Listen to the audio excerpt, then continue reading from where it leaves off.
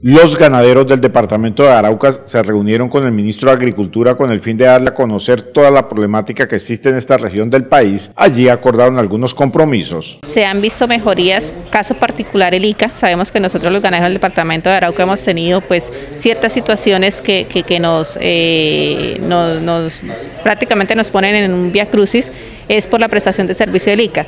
Sin embargo, gracias a la gestión de, del ministro de Agricultura, del senador y obviamente pues de las mesas de trabajo que se han realizado con el ICA, hemos podido, digamos, llevarle mejorías a los ganaderos.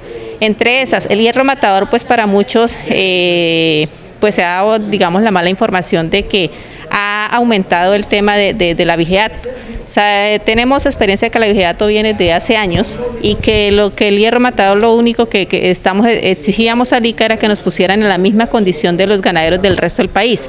Era una ley que ya estaba para todo el país, pero acá no la estaban aplicando basados en un decreto que ya había prácticamente caducado.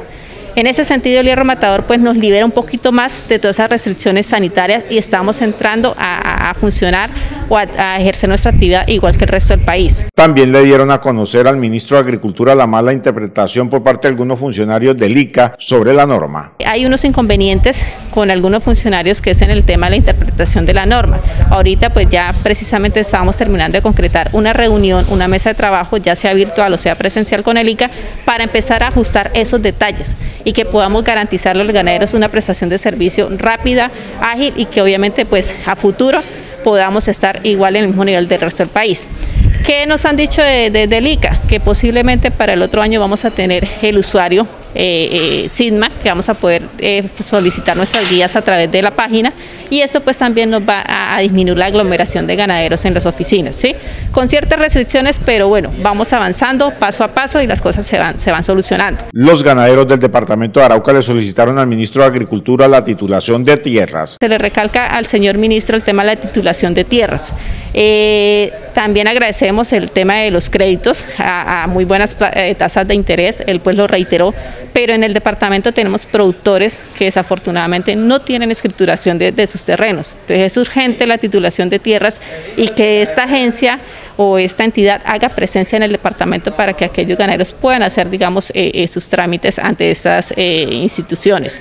El fortalecimiento institucional se sigue, digamos, reiterando, tanto en el ICA como en el INVIMA. Queremos avanzar, los ganaderos queremos apostar a las certificaciones de buenas prácticas ganaderas. Hay créditos que apoyan el tema de buenas prácticas ganaderas, procesos silvopastoriles, etcétera, etcétera. Pero necesitamos ese apoyo institucional. Entonces sí reforzar lo que es eh, el personal en el ICA, que ahorita a principio de año no volvamos a tener el mismo problema de todos los años donde no hay personal y las oficinas cerradas.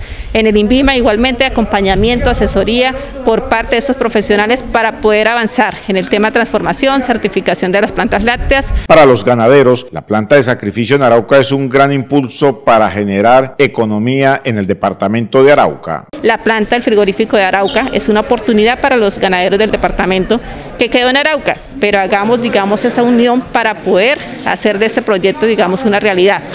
Eh, la planta de plátano, pues sabemos que también eh, se está eh, realizando el proceso, la planta de, lácteos de la Esmeralda. Entonces todo el gremio ganadero unido tiene que hacer realidad estos proyectos, que si el día de mañana necesitamos un aliado comercial, sí lo necesitamos, porque tenemos que tener esa, esa empresa, esa entidad a la cual le vamos a vender y podamos garantizar precios justos. Lo recalqué, la comercialización en el departamento de Arauca se le tiene que dar, digamos, un apoyo.